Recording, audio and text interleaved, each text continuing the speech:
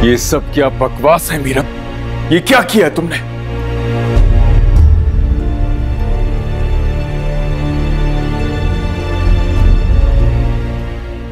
ये जो तुम निकाह के दरमियान उठकर गई थी मुर्तसिब से ये शर्तें बनवाने गई थी तुम बोलो।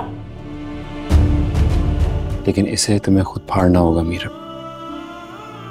तभी हमारे बीच की दीवार टूटेगी।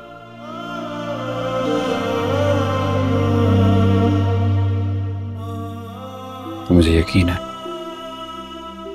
एक दिन तुम ऐसा करोगी।